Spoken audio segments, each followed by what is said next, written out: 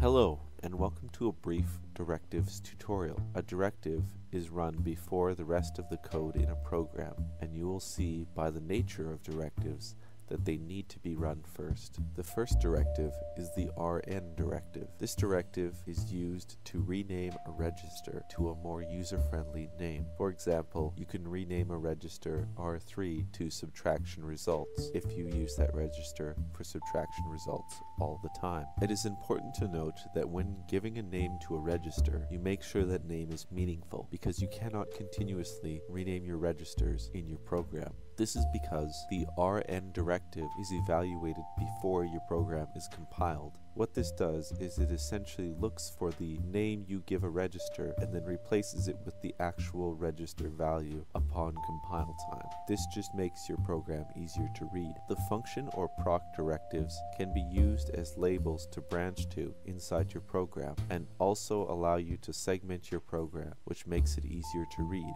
The EQU directive or equate is very useful. Much like the rename register directive, this allows you to apply a user-friendly name to a constant value. This is especially useful when you have to deal with a hex value over and over again. For example, the memory address of a very important location, such as the input-output pin manipulation or control register. This can also be used for simple numbers, and you can even add them together, which allows you to apply offsets. DCD is an interesting directive. From the ARM manual, it states that it allows you to initialize location memory, apply a user-friendly name to that location, and then initialize some value in that location. This is fantastic if you want to store data for later use and then retrieve them, all while using meaningful names.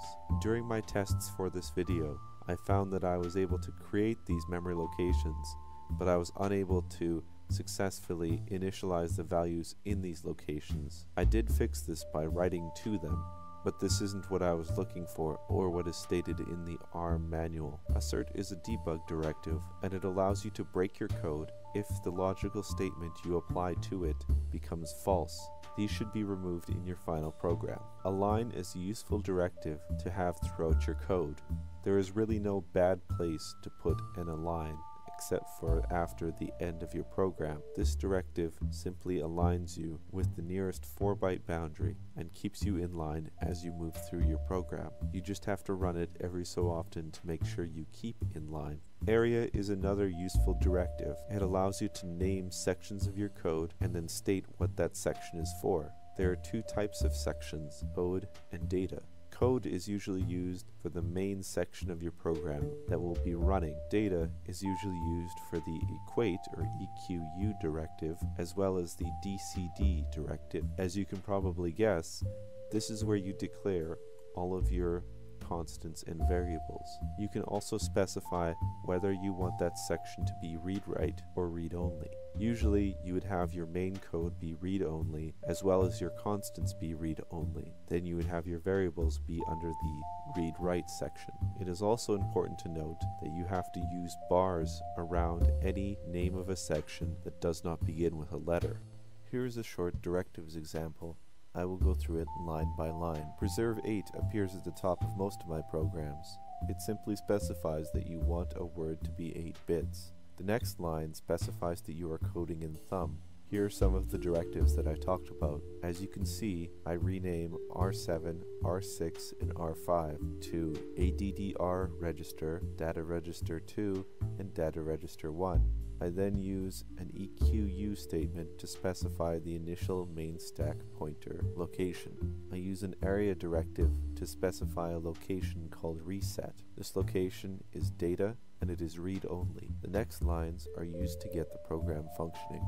Do not worry about them right now but you do need them in order to get your program to work. As you can see, I export the initial main stack pointer as well as the reset handler. I then use an align directive to make sure that I am still aligned in memory. I then use another area directive, this time using a dot data name. This area is also data, but this time it is read write because I will be using it to store variables. As you can see, I use the dcd command to initialize variable1 or var1, of variable2 or var2. Each of these is 2 bytes wide and should have an initial value of 0. Again, just to be sure I'm aligned in memory, I use another align directive. I use another area command, this time named .text, also surrounded in bars, although this time it is code and read only. This is the start of the actual program that will be running. I then export the reset handler, again something you don't need to worry about at this time, and then state entry. This entry directive is used simply to specify that you are starting your main program. I did not waste time talking about it in the original video because that is all it does. It simply specifies the start of your running code. I then have a reset handler label which will be used in the event of a reset. Here's where you can see the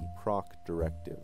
I use it to specify the start of my main program, as well as where it will loop back to upon completion. I then use the LDR function to load the memory address of var2 into the address register that I specified above. As you can see, this is a lot more readable than using R2 and some hex number. It is important to note that in order to get the actual memory address of var2, you have to put an equals sign before it.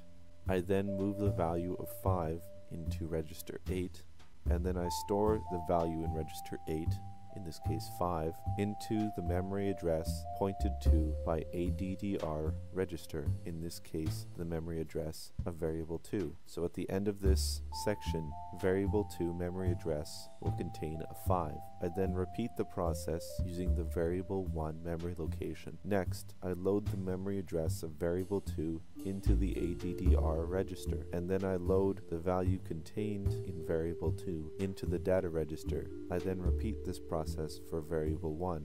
I then add the values stored in data register 1 and data register 2 together and store the result into the register R0. Just to be sure, I load the memory address of var1 back into the ADDR register even though it should still be there. And then I store the value contained in R0 into the variable 1 memory location. I then load that value back out of the variable 1 memory location into the register 4 to confirm that I have indeed saved it. I then use a simple assert directive to see if 1 is less than 2, in which case this is true, and then proceed to loop back to the main label at the top of my program. I then have the accompanying endp directive to match the proc at the top of my program. I once more align my memory and then I end my program. I have read that using the dot .data and dot .text area directives is convention and so I have put them in this program. Here is the example running.